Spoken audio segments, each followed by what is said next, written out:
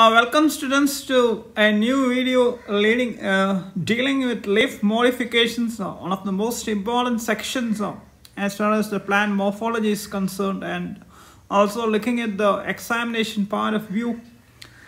Uh, we are beginning with uh, tendrils. So what exactly are tendrils? Tendrils are thread-like uh, coil coiling structures uh, specifically meant for support. So uh, for those plants which are having a weak stem uh, tendrils provide a means to support the growing stem. That's a key point. So thread like uh, coiling structures uh, for support um, when we are dealing with the uh, weak stem and usually tendrils are unbranched and of course uh, uh, they don't have any scale. So that, that so these are the important features of tendrils and uh, let's look at uh, specific modifications uh, and uh, yeah, naturally there's a very important question which is coming up that's if leaves are modified into tendrils and what are the parts of the plant which does photosynthesis? And that that's one of the points which we'll be looking into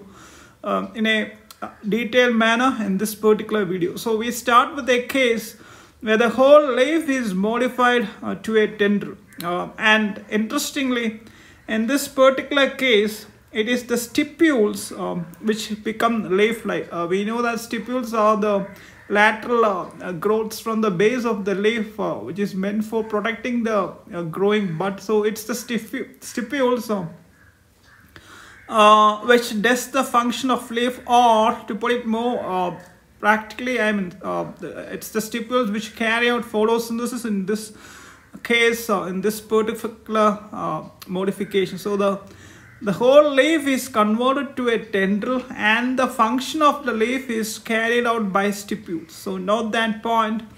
Uh, so in this uh, modification we don't see leaves we instead see tendrils. So that's a very interesting point and uh, a notable notable example is wild pea that is uh, Lathyrus aphaca and uh, in this particular case it's the whole leaf is uh, has developed to a tendril. the second uh, uh, interesting example is we have the leaflet which is developing as a tendril. So we know that what a leaflet is the leaflet is the is the uh, leaf uh, structure developing on a rachis on a secondary axis. So uh, those leaflets are uh, becoming uh, tendrils.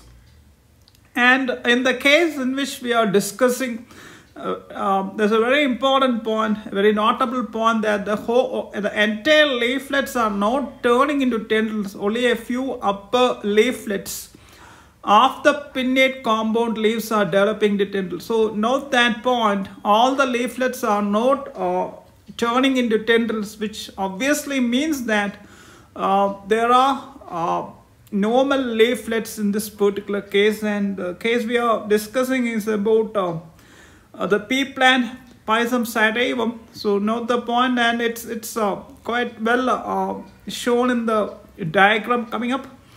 Uh, we have the um, stipules which are leaf-like at the bottom, very broad structures. Then we have the normal leaflets coming in the middle. And on the top, uh, we have uh, leaflets which are converted to tendril-like structures. So not that point. Uh, so once again, reiterating, um, it should be noted that uh, here the modification is only for a few upper leaflets not not for the all the leaflets. So as i already told uh, interesting cases are pea uh, Pisum sativum and uh, also sweet pea that is a uh, Lathyrus odoratus so note, note those examples also. Now examples uh, remembering examples is very important as uh, these are usually asked uh, in the examination Going on to the third case, um, it's uh, a case where the tendrils, the, the tendrils uh, basically is the development of the petiole or the petiole is uh, getting uh, transformed to a tendril-like form. That's a interesting uh, feature here. So it's a petiolar tendril. Uh, basically, it means that the petioles uh, elongate and coil around for support. So we know what a petiole is. Petiole is a structure which connects the uh, leaf to a stem stem of the plant and this petiole uh, in certain cases becomes a spring-like tendril-like.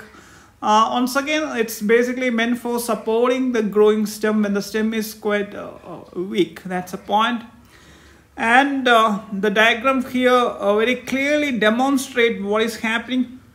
We have the uh, longish elongated springy spring like petiole um, and it's coming out from the opposite sides of the stem and it's it's coiling around other structures for support. And after that you can see that that um, tendril, tendril like petiole is ending in a leaf. So now that point between the leaf um, and and the petiole attaching to the stem we have the tendril like function uh, happening. So now that interesting point so that's about petiole tendril and uh, a good example is uh, garden nasturtium and also we see such developments in Nepenthes also.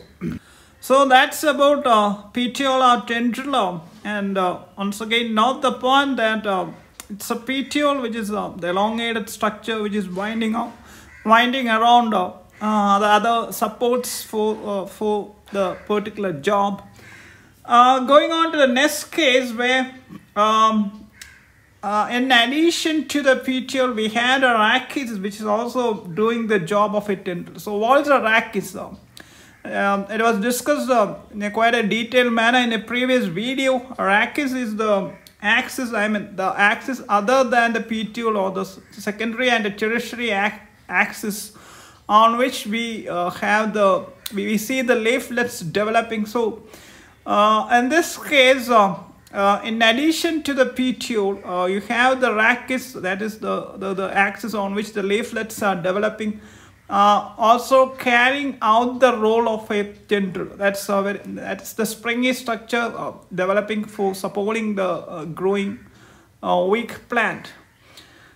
so here the petiole, the rachis and the stalks of leaflets and, and, and, and the stalk of leaflets that is petioles of clematis, uh, which is the uh, case which we are discussing.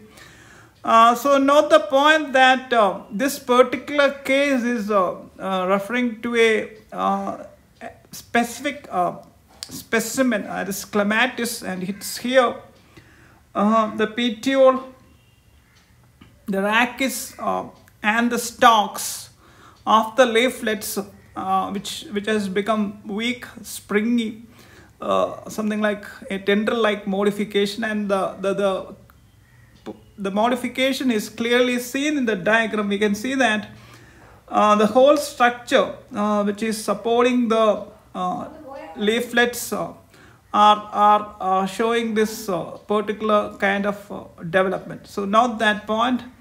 So the example in which rachis and petiole um, become tendril is clematis. So note that point. So that's about uh, this uh, particular case. Uh, once again, uh, be clear about the examples to get a fine idea about what we are uh, discussing.